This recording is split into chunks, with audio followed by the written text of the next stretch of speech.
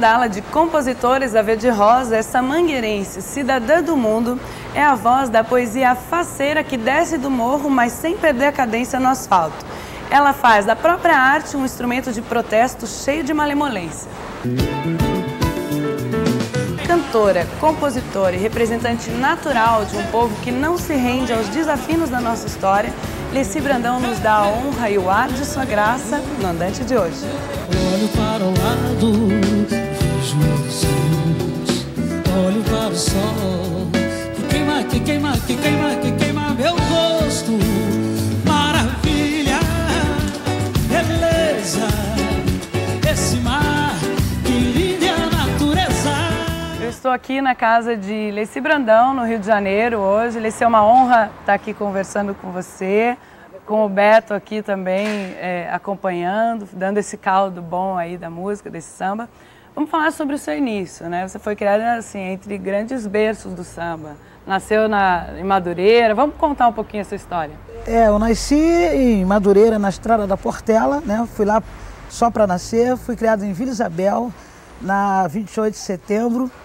E sou mangueirense porque mangueira na minha casa sempre foi uma coisa muito normal, né? Minha avó foi pastora da Mangueira, minha madrinha de batismo morava no Morro da Mangueira, minha filhada mora lá em Mangueira até hoje e minha mãe também saiu em Mangueira, nem sonhava nascer. Então, a Verde Rosa sempre foi uma coisa muito natural na minha vida. Né? Eu conheci a saudosa Dona Zica na casa de minha madrinha, né? Tive o privilégio também de, de conhecer Dona Neuma, a irmã de Dona Neuma, trabalhou com minha mãe na fábrica de tecidos Confiança em Vila Isabel. Então, é, essa coisa do samba sempre foi muito natural na minha vida, né? Como, como cidadã. A questão de entrar para a aula de compositores da Mangueira só aconteceu muito depois, porque eu só entrei na aula de compositores em 71 entrei simbolicamente, fiquei um ano fazendo estágio e em 72 eu recebi a carteira da, da aula de compositores pelo presidente da época, que era o José Brogogério. Quem me levou para a sala foi Zé Branco, que era o tesoureiro da aula, esse aí já é falecido. E como foi, assim, estar tá ali num universo tão masculino, né, e, e, e, em princípio a primeira mulher? É, eu quando cheguei lá, numa reunião que era feita na garagem da prefeitura, que nesse tempo a escola estava fazendo ainda a obra do Palácio do Samba, que é hoje, eles receberam realmente assim uma surpresa, né? Foi uma surpresa para eles saber que eu queria entrar na aula. Eu era muito magrinho, então o que essa garota veio fazer aqui? Aí eu cheguei e disse, olha, eu queria aprender mais com os senhores, porque eu acho que essa aula para mim é uma universidade, né? Eles mandaram que eu fizesse por escrito esse pedido e fosse lá na semana seguinte. Eu fiz a carta, entreguei e foi decidido assim: você vai ser aceita simbolicamente, vai ficar fazendo samba durante um ano, samba de terreiro, para a gente ver se você tem competência para ingressar na ala. E assim foi feito. Eu fiz os sambas, né, apresentei vários sambas de terreiro, inclusive o primeiro deles foi Barraco Verde Rosa. E em 72 eu já recebi a carteira e já recebi a fantasia para desfilar na aula de compositores. Olha, que bacana. E daí teve também a, a, um prêmio do programa Grande Chance, né? Da TV Tupi. Em que é, momento a Grande foi Chance isso? é antes de Foi Mangueira. antes, né? Antes, foi em 68. Vários foi amigos meus Quando você... me incentivaram, as pessoas sabiam que eu fazia música, né? Que eu, quando- eu, eu, quando cheguei na Mangueira, eu já era compositora, né? Já fazia música. Apenas eu queria é, é, ser compositora da ala de compositores da Mangueira, que para mim seria uma coisa muito importante. E no Flávio Cavalcante, na época eu era comerciário, era telefonista, e fui lá concorrer também como compositora. Graças a Deus, recebi nota máxima de toda a bancada, só não recebi do ah, Zé Fernandes, que era um cara que não dava 10 para ninguém, né? Mas foi assim um alvoroço, porque na época o programa Grande Chance do Flávio Cavalcante era qualquer luxo do Brasil. Então todo o Brasil acompanhou a minha apresentação. né? E ali as coisas começaram a acontecer, mas na verdade eu só fui assim de encontro ao, ao grande público e, e crítica e tal, no momento em que as pessoas me viram cantando no palanque da quadra da Mangueira. Ah, bacana. E a faculdade, como que, que entrou na sua vida? A faculdade foi quando eu cantei na Grande Chance, e eu disse a você que foi realmente uma, uma coisa que, que chamou a atenção do país, a, a família Gama Filho ligou para a TV Tupi, me oferecendo uma, uma vaga, uma bolsa, uma bolsa de estudos, né? E aí eu, eu só fui realmente é, a- acompanhar isso no final de tudo, porque como eu não ganhei na finalíssima da Grande Chance, a própria uh, empresa que eu trabalhava, que era a telefônica, ela esqueceu das promessas que havia feito para mim, né? Ah. É, aí eu procurei a família Gama Filho, consegui emprego na universidade, trabalhei no departamento pessoal, né, isso em dezembro de 68. 68 é muito importante para mim, porque eu saio da telefônica, vou trabalhar na fábrica de cartuchos de Realengo, de lá eu vou para a Universidade Gama Filho trabalhar no departamento pessoal, né? E essa, essa ida para a universidade acabou me abrindo outros horizontes. Porque eu trabalhando no departamento pessoal, comecei a me interessar por direito. E aí eu fiz Olha, vestibular para direito para fazer direito trabalhista. Eu queria fazer defesa dos empregados. Acontece que em 72, 71, começo a entrar na Mangueira, 72 eu entro para a ala e aí a minha vida começa a dar saltos e saltos, porque eu sou descoberta pelo Sérgio Cabral, Sérgio Cabral, Sérgio velho Cabral, Sérgio pai do nosso É. governador, né? E o Sérgio eh, me ofereceu gravadora, que foi a gravadora Marcos Pereira. O Jorge Coutinho, que era o diretor do Teatro Opinião, daquela noitada de samba de segunda-feira, me convida para ir para as noitadas de samba do Teatro Opinião. E aí eu conheço Clara Nunes, Paulo César Pinheiro, passo a conhecer as pessoas que cantavam lá, Dona Ivone Lara, eh, Roberto Ribeiro, um monte de gente, né? Fantástica. E aí a coisa começou a crescer de, um- de tal modo que em 74 eu peço licença sem vencimento da universidade e assino um contrato com a gravadora Marcos Pereira. E começo a minha carreira profissional. definitivamente na Exatamente. música. Só que eu recebi o seguinte recado do professor Pedro Gama Filho. Se der certo, tudo bem, vamos torcer para você. Se não der certo, a Você sua volta. vaga continua aqui no departamento pessoal. Mas eu não precisei voltar. Resumindo, né, Priscila, eu estou fazendo a universidade da vida durante esses anos Pois todos é. porque eu conheço não só o meu país de ponta a ponta, como eu tive a oportunidade de conhecer outras nações também. E eu acho que esse convívio que a gente tem, conhecendo gente, conhecendo lugares, acho que é a maior cultura que a gente pode receber na vida. Com certeza. Vamos encerrar esse bloco cantando Barraco, Verde e Rosa, já que Então, foi a primeira, né? Foi a primeira, o primeiro samba de terreiro que eu fiz na Mangueira. Um barraco verde rosa, um cavaquinho, uma inspiração. Só isso basta, meu amor, para você conquistar meu coração. Eu não quero riqueza, só vejo beleza na rosa que é flor. E vou morar em Mangueira, estação primeira da paz e do amor. Um barraco verde e rosa.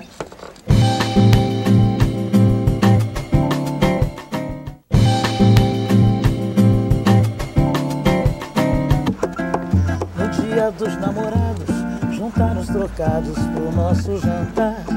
Mostrar minha simpatia quando pra família me apresentar. A bela caligrafia da fotografia pra te dedicar. Não pense que isso é antigo, mas um jeito amigo da gente se amar. Eu só quero te namorar, deixa eu te abraçar, deixa eu te beijar. Não sei o que você vai pensar, mas só quero estou de volta com o Andante a presença ilustre de Leci Brandão e a participação mais que especial de Beto Cardoso acompanhando Obrigado, aqui. obrigado. É, vamos falar de carnaval, Leci. Carnaval. É, vamos falar da- de, de quando você começou a, a, né, desde lá que- da, da ala de compositores né, e, e observando também como crítica. Né, vamos fazer um Certo. paralelo no passado, hoje. É, eu sempre assisti desfile de escola de samba, desde pequenininha. Eu me lembro que a mamãe ia comigo, mais meus primos, enfim, para a Avenida Presidente Vargas. Naquele tempo não tinha arquibancada, era uma corda só que tinha. Né? A escola vinha dentro daquela corda e a gente era bem pequeno, então nós ficamos a noite inteira. Eu me lembro que naquele tempo não tinha plástico, era papel de pão. E a mamãe levava cachorro quente dentro de uma sacolinha, né, embrulhado no papel de pão, laranja descascada. E a gente passava a noite ali comendo o cachorro quente, que estava frio, evidentemente, né? chupando laranja e vendo as escolas passarem. Quer dizer, a minha convivência com o desfile de escola de samba é uma coisa é, bem, bem antiga mesmo. Né? Ah, eu comecei a desfilar na Mangueira em 72, na aula de compositores, e fiquei desfilando né? na, na escola. Eu saí na comissão de frente da Mangueira quando ela homenageou Chiquinha Gonzaga, né? eu representei Chiquinha. Ah, saí também em ala normal e sair ajudando a harmonia da escola. Quer dizer, a gente, o compositor naquela época, ele tinha muita liberdade dentro do desfile, né? Nós ajudávamos o canto da escola, né, a harmonia, aquela coisa toda. Bom, estou comentando o Carnaval em São Paulo há cinco anos, e se Deus quiser, 2008 eu vou completar o sexto ano como comentarista. E é um trabalho, Priscila, que muito é, é, me, me, me, emociona, porque eu gosto, é, dentro do comentário, passar para o telespectador né, a importância das pessoas que formam a espinha dorsal de uma escola de samba. Né, que são baianos, compositores, bateria, harmonia, casal de mestre porta-bandeira, comissão de frente, as aulas de comunidade, né? Tanto que a gente botou a palavra comunidade na transmissão. Né? Essa palavra não era usada no carnaval. Usar, né? E aí todo mundo começou a falar. Tanto que meu apelido na TV Globo era Alessi Comunidade. E comparando o carnaval lá de quando, né, de, da Presidente Vargas, depois que foi para o sambódromo, mudou muita coisa, né? Muita Desde coisa. a cadência do samba, que, poxa, é. queria que muda você comentasse. A cadência, um muda uh, o ritmo, muda a forma de fazer o samba, porque antigamente era assim dava-se um determinado enredo. Vou te dizer, por exemplo, Descobrimento do Brasil, né? ou Tiradentes. Cada um ia para uma biblioteca, fazia sua pesquisa e apresentava o seu samba. Não havia aquela coisa chamada sinopse. Porque hoje a sinopse já vem com a quadrinha que o carnavalesco quer que ponha no samba, né? Ele, na verdade, impõe a você uma coisa que tinha que vir da sua criatividade.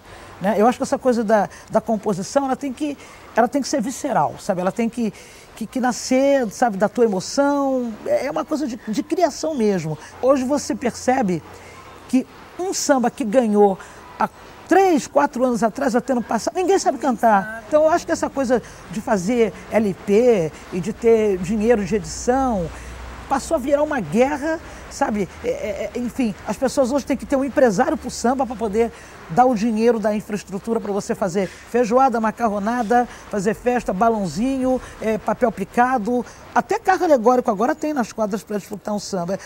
Daí, os compositores mais pobres não terem mais condição de disputar samba enredo. Hoje, para disputar samba enredo, você tem que ter o que a gente chama de bala na agulha, tem que ter grana, senão você não consegue. Você tem que chegar na quadra com CD, pronto. É, e antes não era assim. E você acha que, que isso vai mudar? Tem algum caminho, algum movimento para mudar? Inclusive Olha, a aceleração do samba? É, infelizmente eu acho uma coisa reversível, né? Porque essa festa está ficando hollywoodiana a cada, a cada ano. Né? Primeiro que já não tem a presença do povo de verdade. Você só vê o povo naquela arquibancada da concentração e depois você encontra o povo lá na dispersão. É. Porque hoje o sambódromo é Correndo, tomado... né? Corre porque precisa, né? O sambódromo hoje é tomado pelos turistas, né? É. Não só os, turista nacional, Brasileiro. como o mundo inteiro vem ver essa festa. Você percebe, inclusive, na transmissão, que o desfile fica frio porque quando a escola chega na concentração, é aquele alvoroço, todo mundo recebe calorosamente. Começa o desfile, muita gente que está ali não sabe a língua, não entende nada que está acontecendo, ficam parados olhando e a escola precisa de aplauso, a escola precisa de calor humano até para que ela possa fazer uma boa evolução. Eu gostaria muito que, que as escolas voltassem a fazer uma coisa que havia antigamente, que era desfilar no bairro, né? Elas desfilavam lá no oficial, mas tinha um dia de fazer o desfile no bairro. Era uma coisa maravilhosa. Outra coisa também que há até um engano, dizem que eu não gosto de rainhas de bateria, não é nada disso. Eu não tenho nada contra a rainha de bateria. O meu problema é que as meninas que eram as rainhas, vindas da comunidade pelo voto dos meninos da bateria, isso aí deixou de existir. Porque hoje toda, todas as escolas têm que ter uma mulher que seja é, conhecida da mídia, que seja uma celebridade. Celebridade para mim é outra coisa, sabe? Celebridade é uma, é uma pessoa que fica anos e anos, fica eternamente na história do seu país. Isso para mim é celebridade. Agora, a pessoa apareceu um dia numa cena de novela ou apareceu numa capa de revista, já é considerada celebridade, então essa palavra está muito vulgarizada e eu não, Aí fica não gosto nem de usá-la. Né? É. Bom, vamos fazer mais um pequeno intervalo. E a gente está aqui hoje na casa da Alice Brandão, aqui no prédio dela, na Tijuca. 30 anos, né? Aqui nesse mesmo lugar, aqui, aqui aí, nesse pessoal mesmo entrando, lugar. saindo. É a mesma feirinha, a mesma, a mesma mercearia, o mesmo posto de gasolina. Muito coisa. bacana a gente estar tá aqui hoje. Obrigada, Alice. Vamos para o intervalo então, ouvindo uma música. Anjo da Guarda? Anjo da Guarda, porque é a história, é a cultura, é a história da escola de samba. Professores protetores das crianças do meu país. Eu queria gostaria de um discurso bem mais feliz, porque tudo é educação, é matéria de todo tempo. Ensinem a quem sabe de tudo entregar o conhecimento. Na sala de aula é que se forma um cidadão. Na sala de aula é que se muda uma nação. Na sala de aula não há idade nem cor. Por isso respeite e aceite o meu professor.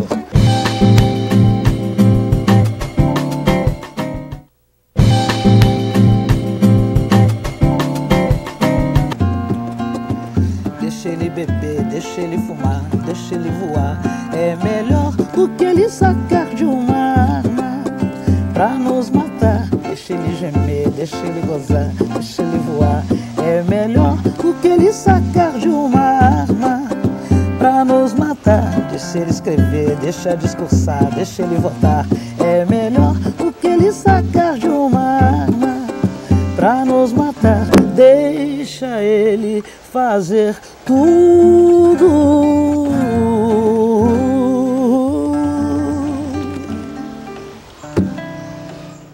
Volta com Leci Brandão e Beto Cardoso no Andante de hoje.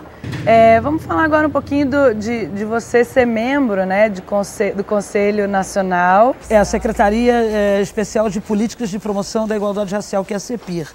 Eu fui convidada pela ministra Matilde Ribeiro, né, no, no ano passado, para fazer parte desse conselho. Eu nunca tinha participado de nada. Eu falei, isso não é emprego de governo, não. Ela disse, não, não, não, que conselheiro não ganha nada. Só a passagem para ir lá e discutir né, todas as questões. Porque o Conselho da Igualdade Racial, ele não é só dos negros, né? É negro, é índio, ah, judeu, palestino, cigano, entendeu? Tá todo mundo lá, todo mundo misturado. A questão é igualdade racial, né? Não se cuida só dessa questão do, do negro. Cuida-se de educação, eh, da saúde da mulher, eh, dos quilombolas. E eu acho, Priscila, que o Brasil tem um discurso hipócrita de que aqui é, a questão é de desigualdade é, social e, e que a coisa não é racial. Eu acho que esse discurso não me convence. Clubes que você sabe que não aceitam ser sócios negros. Né? Existem, por exemplo, colégios particulares que crianças negras, até da classe média, têm dificuldade para ser matriculado. Então, todas essas coisas chegam até a, a, a CEPIR. A gente toma conhecimento disso aí. Nosso país cada vez mais está misturado, entende? Então essas coisas realmente me entristecem, porque, assim, é como eu sou uma artista, sou uma pessoa pública, eu sei que eu tenho eh, vários acessos. Eu sei que muitas coisas são favoráveis para mim pela minha condição. Mas eu não estou me importando comigo, eu estou me importando com os meus companheiros, entendeu? Com os, com, com os meus irmãos né, de etnia que precisam ser tratados da mesma forma que eu sou. E sempre o meu trabalho, desde o primeiro LP, foi pautado nessas questões. É, vamos falar do. Você falou de todos os seus LPs, né? Que você defendeu isso em todos os LPs e agora você tem seu primeiro DVD. Primeiro DVD, Vamos canções aqui. afirmativas ao vivo. Como foi produzir ele, fazer esse DVD? Olha, esse DVD, na verdade, ele estava na nossa cabeça há algum tempo, né? Porque todo mundo já tinha gravado DVD e eu já, já tinha participado de sete DVDs, faltava o meu. Faltava o seu. Então o pessoal começou a cobrar, né? O público que, que é fã, que acompanha. E a gente já sabia mais ou menos o que a gente queria colocar. Ele não ia ser um DVD cronológico, né? Desde o início de carreira até agora, senão não dava. Tinha que ter 60 músicas. Então eu pontuei da seguinte forma: eu coloco a minha parte espiritual abrindo, né? Porque eu sou uma pessoa que sempre tive vários CDs. Na última faixa, tendo uma, uma saudação a um orixá. Depois eu falo da minha mãe, que é a dona Letícia Sombrandão, a quem eu devo tudo. Falo da Mangueira. Em seguida, eu começo a mostrar músicas minhas de sucesso. E as- os convidados, na verdade, são amigos queridos. Agora, todos os que estão aí, Alcione, Aragão, Zeca do Trombone, né, ah, Mano Brau, ah, o, o Péricles do Exalta Samba, o, o Márcio do Arte Popular, o, o Marcelinho do Sem Compromisso, o Reinaldo, todos esses meninos, o Marquinhos do Sensação, foram pessoas que no momento que eu estava fora da mídia, que eu fiquei sem gravadora, eles em São Paulo me trouxeram de volta. Quer dizer, a partir de 97, eu comecei a voltar para a mídia porque gravei com esses grupos paulistanos. Então, eu sou uma pessoa da gratidão, né? Então, eu chamei todo mundo que, que, que me ajudou e que tem uma história comigo e chamei para participar desse, desse, trabalho. Você vive nessa ponte aérea, né? Rio-São Paulo. Literalmente. Por que foi para lá? Justamente por, pela questão de trabalho? É, lá meu tem... trabalho lá é um trabalho que é muito mais executado, né? Tem um reconhecimento muito grande. Eu toco em quatro FMs, sabe, diariamente, né? A nossa agenda é movida com os espaços de, de São Paulo, que acabou resultando para outros estados. Né? Hoje eu sou master que eu canto no Rio Grande do Sul, Santa Catarina, Minas Gerais, Mato Grosso do Sul, Pernambuco, enfim, é, a gente vai para o Pará, é, sabe, eu corro o, o Brasil todo, graças a Deus. E eu não posso deixar de citar aqui um cara que é o meu pai branco, que eu chamo que é Osmar Costa. É um empresário que eu já o conheço há 10 anos. E no momento que eu estava sem gravadora, que eu estava fora da mídia, literalmente, ele me chamou e disse que a gente ia partir do zero. Eu me lembro que o primeiro show que eu fui com ele tinham 50 pessoas, né, lá em São Paulo. Estava retomando o negócio. E graças a Deus hoje a gente faz, sabe, todas as festas de São Paulo, festas de, de emissora de rádio, né? As pessoas não podem deixar de nos convidar. E eu peço sempre a Deus que dê muita paz, saúde, né? Para o Osmar Costa. Então hoje a gente está com uma vida, né? Está com, com, outro, com outro norte de, de carreira. Quer dizer, eu voltei a fazer algumas coisas no Rio de Janeiro. Hoje, sabe, o pessoal do Rio já começa a chamar a gente novamente. E é evidente que eu vou ficar muito feliz de cantar na minha cidade. Afinal de contas, eu nasci, fui criada aqui. Teu berço, né? Adoro minha cidade, entendeu? Já fiz tanta coisa legal aqui. Então acho que é o momento da gente retornar devagarzinho e reencontrar velhos e queridos amigos, né? Lici, muito obrigada pela tua entrevista. Adorei. Beto Cardoso, você aqui também foi essencial. Que é uma né? pessoa que já me conhece há muitos anos. Ele foi da primeira banda minha do de Rio de Janeiro, né? E agora continua lá em, lá em São Paulo tá também. aqui, ó, né? os parceiros sempre juntos, Os parceiros né? sempre juntos, é isso aí. Lici, adorei. E eu acho realmente que o Rio de Janeiro precisa de você aqui. É aquela história do Rio, né? É- é- eu também tenho que falar, tenho que fazer um agradecimento. Que, é muito oportuno isso aí que você falou. Assim, é, é, no momento em que as coisas ficaram difíceis para mim, até em termos de gravadora, quem sustentou meu trabalho no Rio de Janeiro foram as comunidades. Não tem um morro, uma favela no estado do Rio de Janeiro que eu não tenha cantado. Cantei em todas elas, porque eu tocava muito nas rádios comunitárias e o pessoal das, das comunidades, dos morros, enfim, é que sabe, é que prestigiavam o nosso trabalho. Seguraram assim a minha onda durante quatro, cinco anos, né? Então eu tenho que mandar assim um beijo muito grande para todo o povo do, do subúrbio, da Baixada Fluminense e principalmente das comunidades da cidade do Rio de Janeiro, porque por causa de vocês eu sobrevivi de 91 até 96, com certeza. Com certeza. E, gente, Leci Brandão tem que estar viva, assim, ó, defendendo todo mundo para acabar com essa covardia que está acontecendo na nossa cidade e no nosso país. Leci, muito obrigada. Obrigada, Priscila. Quero te dizer que o meu currículo a partir de hoje vai ficar mais enriquecido, porque eu tô consegui, né? Deus, né, me deu a oportunidade de poder fazer essa entrevista aqui nesse canal que eu sempre sonhei de fazer uma entrevista, né? E graças a Deus aconteceu. A gente vai terminar, então, o andante de hoje com música. Zé do Caroço. Zé do Caroço lê, lê, lê, lê. Lê, lê, lê, lê, lê, lê, lê, lê. Lê, lê, lê, lê. Lê, lê, lê, lê, lê, lê, lê, lê. Um serviço de alto-falante No morro do pau da bandeira Quem avisa é o Zé do Caroço Amanhã vai fazer alvoroço Alertando a favela inteira eu queria que fosse em Mangueira Que existisse outro Zé do Caroço. Pra dizer de uma vez pra esse moço Carnaval não é esse colosso Minha escola é raiz, é madeira Mas é o morro do pau da bandeira E Vila Isabel, de uma Vila Isabel verdadeira. Que o Zé do Caroço trabalha, que o Zé do Caroço batalha e que malha o preço da feira. E na hora que a televisão brasileira distrai minha gente com a sua novela, é que o Zé põe a boca no mundo, faz um discurso profundo, ele quer ver o bem da favela. Está nascendo